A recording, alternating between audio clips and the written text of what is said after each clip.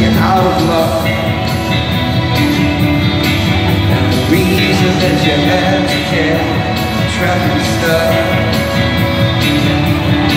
You're not fooling anywhere, for you now, friend to take you out of this place. Someone you could